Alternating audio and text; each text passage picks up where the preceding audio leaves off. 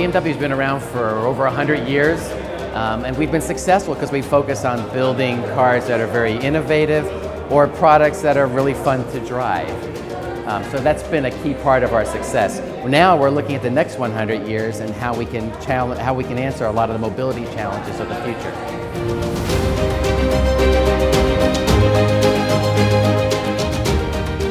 Well, it means everything. Our industry is in a lot of change, going through a lot of change and disruption. Uh, so for us, it means a lot because people now want to buy from a brand they trust and they respect. It's not just having a great product, you need a strong brand.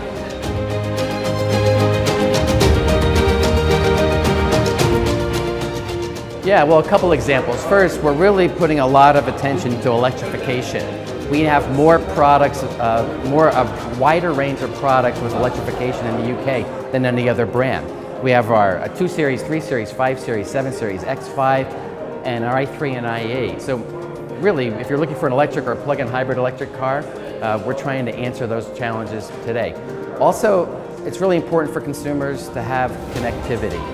They want the best real-time traffic information. They want their phone to work well, um, and they want access to their music. So we work really hard, not just providing that technology, that connectivity, but making it the best possible connectivity we can.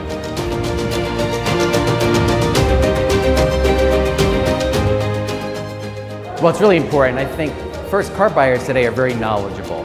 Uh, so having their vote is really important. Also, our, our buyers tend to be very passionate about our brand.